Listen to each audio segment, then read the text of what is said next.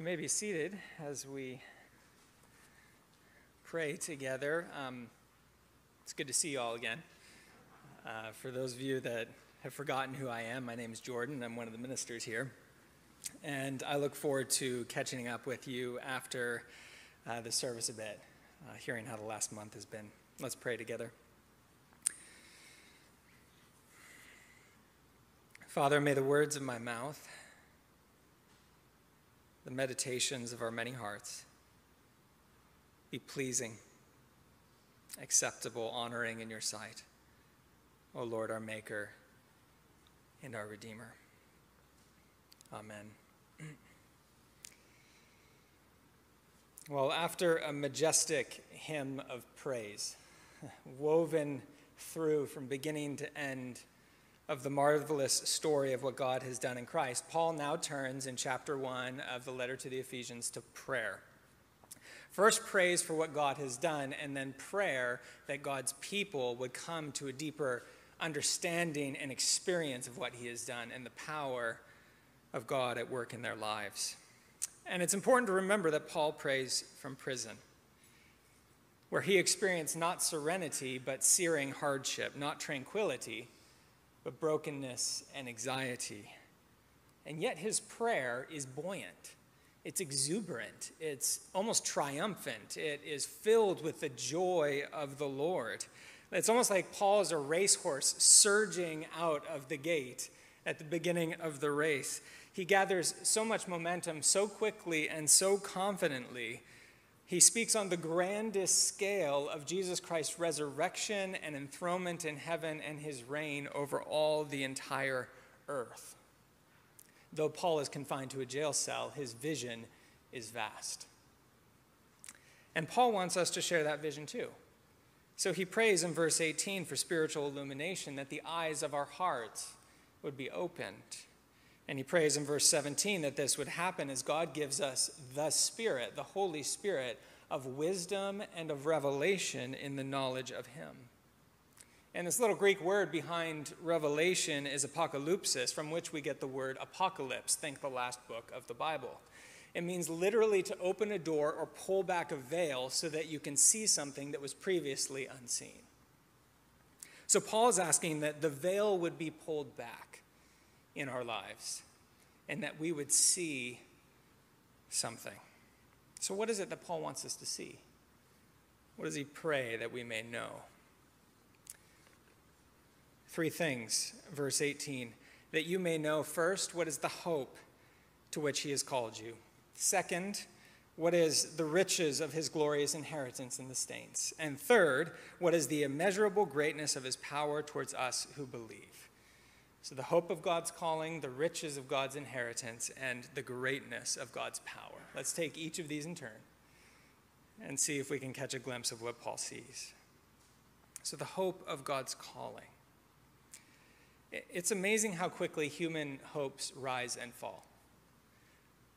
It was not many years ago when there was a certain fervor in the air among certain communities that I knew. They felt to some extent like society was turning a corner. Dare to Hope was the political slogan. Um, the Audacity to Hope was the book that came out, and even N.T. Wright, our own evangelical scholar, added Surprised by Hope. And all this sense of exuding confidence for the days ahead. I think if I were to pick a title that experienced, described the experience of the last 18 months for a lot of people, it would probably be like dashed, uh, your hopes are dashed, or something like that. the dashing of hopes. Um, whether that's hopes and friendships, or religious communities, or political uh, and medical processes, or hope in stable jobs and economies, I mean, you name it, whatever it is, I think there is a certain widespread cultural, social, corporate loss of hope in one another, in our institutions, and in our future. And many people are, are wrestling with this sense of disillusionment like, what do I do with this? What is life really about? Is there anything solid in this world? What am I actually striving for? And who and what can I actually depend on? Paul's prayer could not be timelier. He prays that the Spirit of God would stir in the hearts of the people of God, that they would recover the hope to which they have been called. And notice here that the hope is grounded in God's calling upon our lives. So it's not grounded in some emotional state within ourselves, like how we feel about ourselves, how we feel about others, or how we feel about the particular cultural moment that we find ourselves in. Whenever hope is rooted in any of these things, it's like mist in the wind or fog on a hot summer day. It goes as quickly as, quickly as it comes. Paul says that hope is grounded in God's call. And Paul says that God's call is the extension in time of his eternal loving purpose of election and predestination before the foundation of time. Ephesians chapter 1 verse 3 Blessed be the God and Father of our Lord Jesus Christ, who has blessed us in Christ with every spiritual blessing in the heavenly places, even as he chose us in him before the foundation of the world. And just a verse later, in love he predestined us for adoption through him. Romans 8 verse 30 Those whom God predestined he called. Those whom he called he justified those whom he justified, he glorified. And so Paul has this sense that our calling to belong to the Lord Jesus, to follow him, to become like him, to have every aspect of heart, mind, will transformed by the goodness of his glory and grace is the temporal extension in time of God's eternal will for us. And therefore, if it was something that was God's will for us before the foundation of the world, it means there is nothing in the world that can threaten it. There's nothing more solid than this will of God amidst all the changes and chances of this life. There's nothing that holds more true amidst no matter what our status or our station or our situation. And I think this is important because I know that there are some of you gathered here, some who are gathering in their family rooms right now, who are going through some pretty difficult stuff at this moment. And Paul is praying that you would be reminded of God's calling upon your life and that that would give birth to a fresh sense of hope. Now, the question that naturally arises is like, well, what is that hope? And that leads us to the next two points in Paul's things. But I mean, Paul could have reached for a number of images throughout Scripture to describe what our hope is, right? He could have said, like, the comfort that God promises you in affliction, 2 Corinthians chapter 1, or the inseparable love that you would experience in the midst of suffering, uh, Romans 8, or the future glory that will outweigh, far outweigh the present suffering that you're experiencing, Romans 8 again or the fact that God is going to complete the good work that he's begun in you, Philippians chapter 1, that we'll see God face to face, Revelation chapter 21, that there will be no more sin and shame and death and injustice, Revelation chapter 21, and that the new creation will be full of peace and righteousness and joy, 2 Peter chapter 3, and that we will finally become the whole flourishing human beings that God always intended for us to be, 1 John chapter 3. Paul could have pulled any of these, but there's two in particular that he grasps for. The first is the riches of God's inheritance. Verse 18. He prays that we would know what are the riches of God's glorious inheritance in the saints. Now, there's two possible ways of interpreting in the Greek this word inheritance. It could be God's inheritance that he gives to the saints, or it could be that the saints themselves are God's inheritance as king. So, it, in other words, it could be an eschatological something. The inheritance is something that God gives to the saints in the new creation, or it could be ecclesiological. The saints themselves are God's inheritance now. I kind of tend to favor the latter a little bit, but whichever way you look at it, the main point is that Paul is praying that the Spirit would discern, would stir in us uh, the capacity to discern and cherish at the core of our being the immense privilege it is to be a member of God's church. Paul layers on the images throughout the rest of Ephesians, and we're going to discover them. The church is the foretaste of God's new creation. The church is his treasured possession. The church is his beautiful bride. The church is his own body. The church is his holy temple. And Paul is wanting us to see just what a privilege it is to be a part of the riches of God's inheritance. And I think this is pastorally important for us in a couple of different situations. First, is that if you find yourself at odds with the surrounding culture because you are a Christian or because you belong to the church, remember, Paul is writing from prison. He's at odds with the surrounding culture for what he's doing. And the second situation is if you are feeling unimpressed, hurt, or disillusioned by what you see or have experienced in the church. In both cases, whether it's cultural pressure or internal disillusionment, the temptation is to withdraw from the people of God. And I've talked with a number of people who have been struggling with this lately. I had a conversation most recently with a childhood friend about a week ago, and he told me that he and his family are no longer going to church. We grew up in high school youth group together.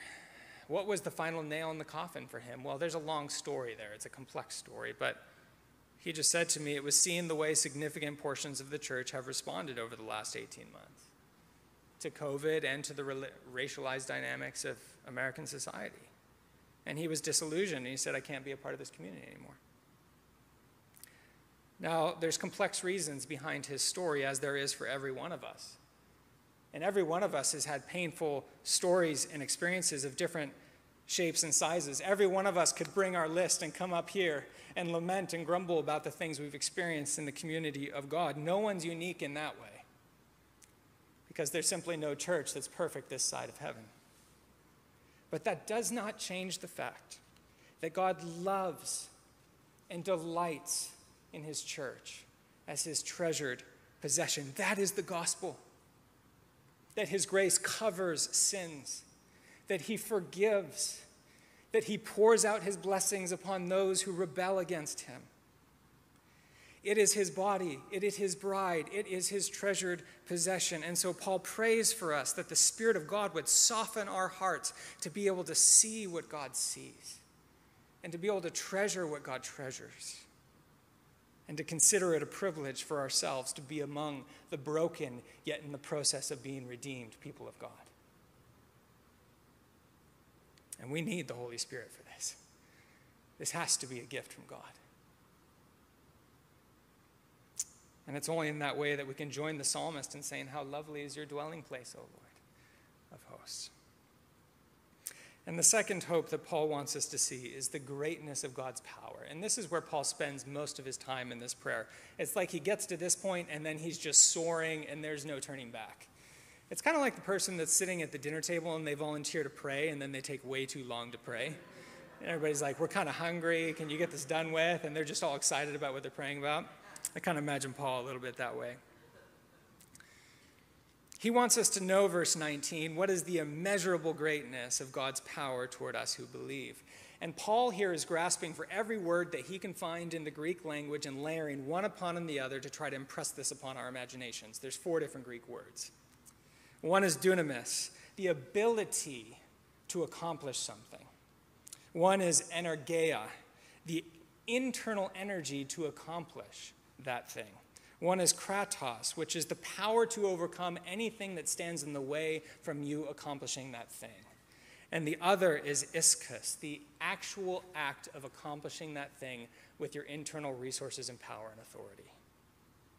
All of this, says Paul, is not just some abstract pie in the sky. All of this is for the good of us who believe. At the core of the gospel, according to St. Paul, is the power of God unleashed in the lives of those who trust that this humble and bloodied and crucified man from Nazareth is now risen Lord and sits enthroned upon the whole entire the universe. And the core conviction of Paul's prayer is this that there is no one in the universe, invisible or visible, that has any power or authority over this Jesus. There is no one in the universe, no organization or institution or corporation or ideology or political movement that has any power or authority over this Jesus. The king is on the throne. That throne is never going to be abdicated, it's never going to be usurped, and it's never, ever going to be dethroned. Psalm 46 says, Though the earth gives way, Though the mountains be moved into the sea, though, though chaos swirls around us, we can still be still and know that He is God. Psalm 2 says, Why do the nations rage in vain? Why do the peoples plot? Why do the kings of the earth set themselves against the Lord and his anointed? And God says, I have set my king on my holy hill. I will make the nations his inheritance. Psalm 99 The Lord reigns, let the earth tremble. He sits enthroned upon the cherubim, let the earth quake. Psalm 103 Bless the Lord, O my soul. Let all that is within me bless my holy name. Why? Because the Lord has established his throne in the heavens, and his kingdom rules over all.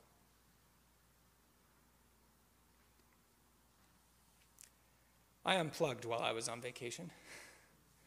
Three weeks of no email, no computer 95% of the time, and I put my phone on airplane mode. So I was pretty ignorant of everything that was going on in the world. Until the last couple days, I've kind of been checking in again, and I go, wow, a lot can happen in a few weeks.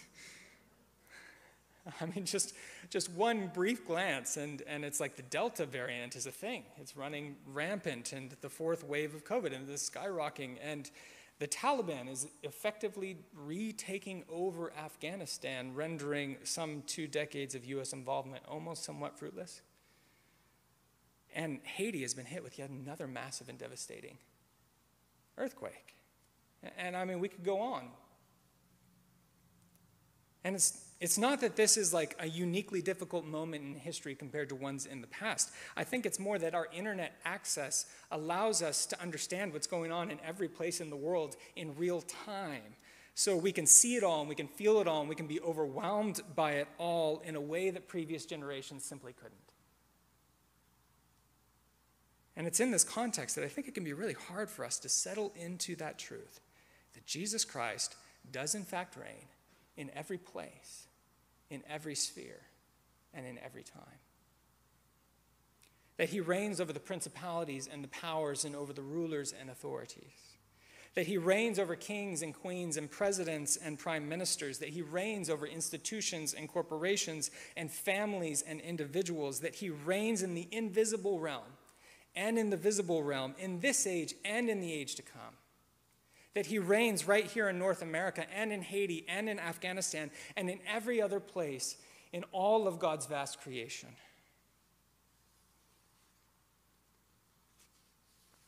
All things, says Paul, literally all things are put under his feet. He is head over all things. Verse 22.